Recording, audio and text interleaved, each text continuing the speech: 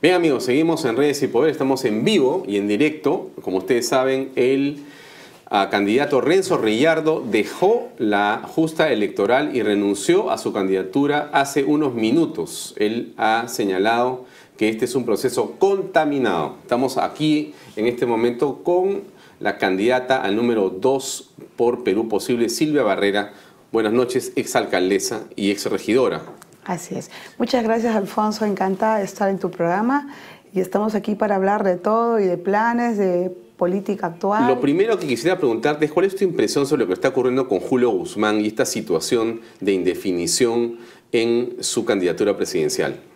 Bueno, para el Perú y para los partidos políticos que, que, estamos cumpliendo con las normas, sería gravísimo si no le sacan de carrera al señor Guzmán porque ya los partidos eh, políticos en las próximas contiendas este, electorales no van a querer cumplir con los requisitos de ley, porque va a ser fácil ¿no? de que si, no, si incumples en los procedimientos de la norma, para mí la norma y la ley hay que cumplirlo.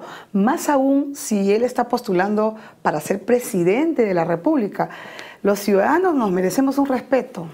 Caballero, yo recuerdo muy bien cuando el señor Curi le sacaron de carrera cuando él postulaba a la alcaldía metropolitana de Lima y no incumplió un requisito del domicilio porque la ley decía bien claro para, para, para que tenga ese cargo tenía que tener tres años de domicilio eh, eh, real, ¿no? En Lima. Pero él incumplió porque tenía el domicilio de, de, otro distrito. Renzo Reyardo ha renunciado hace minutos a la candidatura señalando que este proceso está contaminado. ¿Qué piensas al, respecto? Yo creo que ha sucedido lo mismo que la misma suerte del señor Guzmán. Yo creo que hay una, especie de improvisación de los candidatos en este momento, que son aproximadamente 19, tengo entendido, no ha cumplido con los requisitos. Tengo entendido de que no quiere subsanar porque toda la lista se le ha caído y lo que le queda es, yo creo que el señor Renzo, manifestarle al país de que él ha incumplido con una serie de requisitos y tiene que retirarse como debería de ser, no eh, pensando que este proceso está enturbiado y no es así. Hay que decirle al pueblo la verdad porque se merece respeto. Eh, Silvia, eh, Renzo Royardo tenía cerca de 1 o 2% según algunas encuestas y algunos dicen que se ha retirado porque estaba así, que no iba a subir. Algunos dicen que ustedes tienen en Perú Posible más o menos lo mismo. ¿No sería bueno que ustedes también piensen en retirarse para salvar el partido? De ninguna manera, Alfonso. Yo te digo que las verdaderas encuestas son el 10 de abril. Eso dicen quienes están bajo en las encuestas y no tienen cómo No necesariamente, no, necesariamente. ¿Usted el tiene día una de hoy que los pone ganadores? Sí, nosotros tenemos una encuesta en esta, eh, una encuesta particular en la cual... ¿tienes, ¿Puedes decir el nombre? La fuente no, no lo tengo, eh, son eh, los estrategas en este momento que hicieron la encuesta. ¿Son tan secretas las encuestas que tienes que te dan que... Eh, la fuente no lo tengo, estamos, estamos en cuarto lugar. Te voy en a, cuarto lugar. Sí, en primer lugar está la señora Keiko, en segundo lugar está el voto nulo y en blanco. Y el tercer lugar estaba todos por el Perú y el cuarto lugar Perú Posible, con Alejandro Toledo. O sea, según la encuesta que ustedes tienen, prácticamente ya están en la segunda vuelta.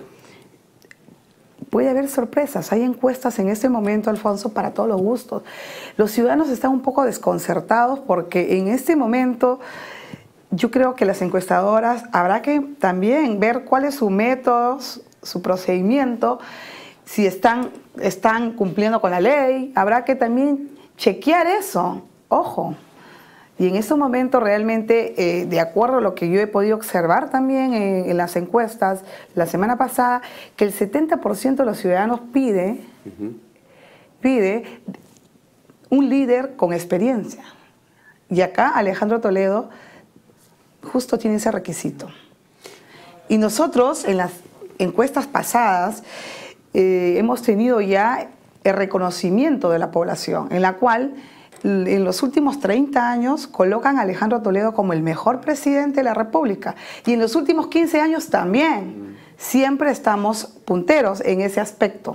Claro, Pero lo que sucede es, en estos momentos, como existen varios candidatos y nosotros estamos recién entrando a una campaña como de- debería de ser, acabamos de regresar de Gamarra, hemos estado con- en Gamarra. Alejandro Toledo ha visitado a, a la señorita Brunella Horna, que es una, un ejemplo a seguir, una señorita eh, de 19 años que se ha vuelto emprendedora. Tiene siete tiendas, tiene talleres en Gamarra, lo hemos visitado el día de hoy, cómo ella elabora sus prendas y hemos encontrado un problema que eh, los empresarios de Gamarra, los- la pequeña y me- y mediana empresa, se están quejando mucho. Primero de la SUNAT, que tienen un acoso constante por la fiscalización y no hay, eh, vamos a decir, apoyo que ellas sientan del Estado por parte de la SUNAT en la cual los capaciten y solamente es venir y exprimir, exprimir y sacarlos y sacarlos. Y luego está el tema del dumping, ¿no? De que en estos momentos Gamarra se queja mucho porque si me están viendo nosotros vamos a, a- a proponer leyes en ese aspecto para proteger nuestro mercado nacional, porque ellos producen con algodón eh, nacional y no, no es posible que ahorita tengan una competencia, están en un tema de, de competencia desleal, que un ejemplo, ¿no? En, en tema de zapatos, hay zapatos de 8 soles, 10 soles, y que no te dura 3 meses, ¿no? Y acá la industria en, en temas de, de- de- de calzados, en- estamos hablando en Villa de Salvador, prácticamente de 36 grandes empresas que había, hoy quedan solamente 12. Te preguntaría por el candidato Alejandro Toledo. ¿Cómo lo ves tú a don Alejandro Toledo? Tuvo una llamada telefónica llena de confusión hace unos días. ¿Qué piensas al respecto? Bueno, yo he hablado con él, él ha estado con el equipo de campaña, con su ¿Tú has esposa. estado en Arequipa? No, no he estado, pero he hablado inmediatamente después de escuchar las noticias y el, todo el bullying que, que lo han hecho. a- ¿Es un bullying? sí, yo pienso, yo considero que es un bullying. Recuerda de que en estos momentos yo misma estoy eh, con un tema de agotamiento en temas de salud porque estamos todos los días caminando en los mercados. Lo mismo le pasa a Alejandro Toledo. Ha estado de Tacna, se ha ido a Arequipa y como comprenderás, de todas maneras, altura y tenía faringitis faringitis en la cual él lo ha explicado y había un problema de comunicación. Yo misma he estado intentando de, comunicarme con Alejandro y no podía.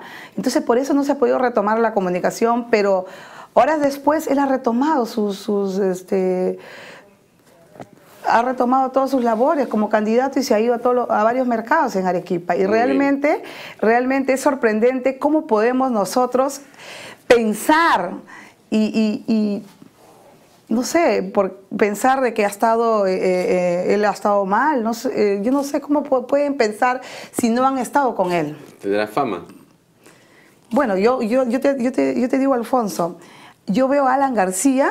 Ajá. Mira, yo veo a Alan García con una botella y un vaso constantemente en los mítines. Entonces yo quiero ¿Una botella de suponer con una botella eh, y una cerveza y un vaso sale, incluso todavía con los periodistas. Bueno, él, él tira la cerveza al público, a los periodistas y todo el mundo se ríe. Y como es Alan García, entre comillas, no pasa nada. Entonces a Alejandro Toledo le pasa de todo, le dicen de todo. Bueno, así es el Perú, es variado, pluricultural, pero yo les digo de que Alejandro Toledo ha estado realmente enfermo y también con agotamiento de cansancio y por el tema de altura que de Tacna Arequipa. Eso es todo. Te está. agradecemos por tu presencia. Te reiteramos la invitación para que vengas en otro momento de la campaña para continuar este, bueno, presentando tus propuestas y seguro que la gente sabrá ponderar y evaluar cómo les va a ustedes en este ajuste electoral. Gracias por tu Muchas gracias, Alfonso. Gracias. Amigos, vamos a una pausa y venimos con la parte final de Redes y Poder.